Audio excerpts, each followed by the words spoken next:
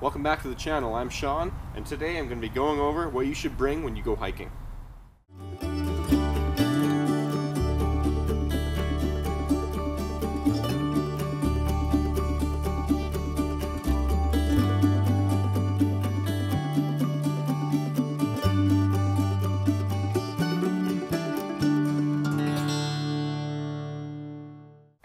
So like I just said, we're going to be going over stuff that you should be bringing when you're going hiking. First off, you should probably have some kind of hiking bag. It's very important to also make sure that it's comfortable. That's important for me. Next, you should make sure that you have a good set hiking boots. I've had these boots for about five years. I spent a little bit more money than I was planning to at the time, and they've lasted me a very long time. I'm almost due for a new pair actually, but they've lasted a very long time. Check out the tread on the bottom there. Very good tread.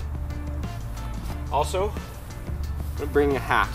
Even if it's uh, not super bright out, it's good to keep your face shielded from the sun. And that leads into the next thing you should be, maybe not bringing on the hike, but you should be using sunscreen.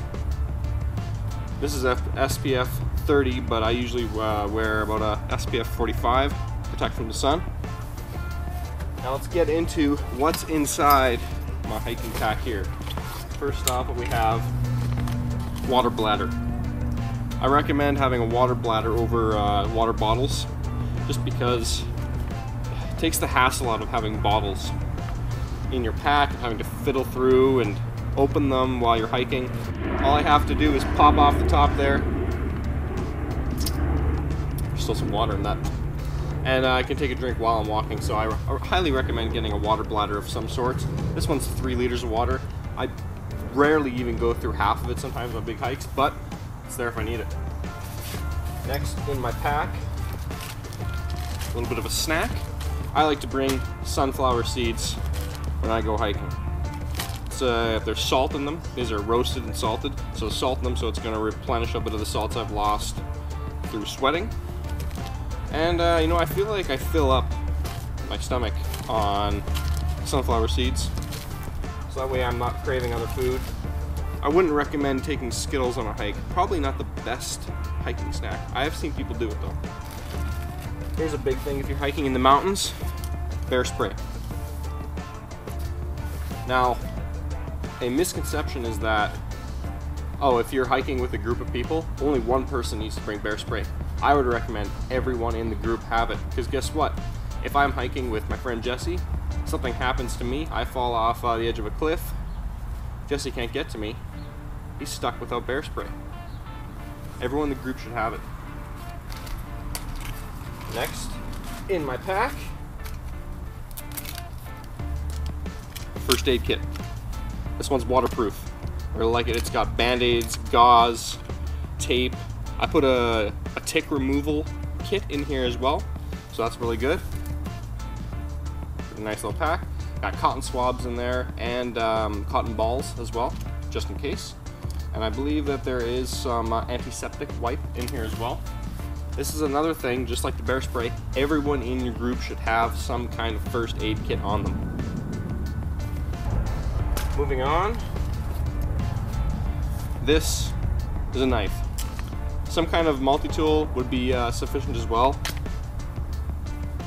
It's a knife I've been using for a while now. A Les Stroud Blackfoot knife. I use it for camping, for hiking. But you know, this package right here isn't just about the knife. It's got a signal mirror on the front here. It's got paracord wrapped around the sides if I ever needed cording. Inside this little compartment right here, I have a flashlight with a whistle and I have a flint striker so there's my fire starting if I needed one and then on the back here I've got survival tips from Survivorman himself, Les Stroud and I got some cotton balls in my knife pack here to start a fire if I need to because I found that cotton, cotton balls are probably one of the best things to start a fire with if you're using a flint striker. Moving on, I've got some more food in here, some pretzels. They look like they've been in there for a while. Probably still fine though. Maybe a little bit stale, but I got pretzels in there as well. Next, I have this. Now this is an emergency bivy. It's kind of uh, one of those reflective blankets. So if I was stuck somewhere, I could use it as a shelter, prop it up like that, or I could sleep just on the ground with it and I would be hopefully be warm, semi-warm. So I keep that in my hiking pack because you never know. Some of the hikes I go on are really far.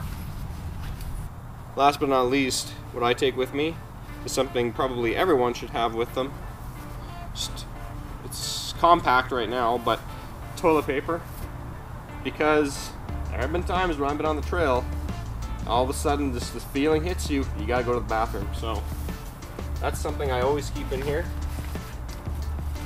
I also have a whistle on the front of my pack here if I needed to get to it easy. It's a little bit more powerful. And inside there's a little compartment here that's got matches inside of it as well. You can never be too prepared when you're heading out for a hike. That's what I've uh, that's what I've found. Well, that's it. That's what I bring in my backpack when I go hiking. Hopefully you've learned something and maybe you'll be adding something that I have in my pack to yours in the future. Make sure to leave a like if you enjoyed this video. Comment down below if I miss anything. And uh, subscribe for new videos coming every Friday. And I'll see you next week.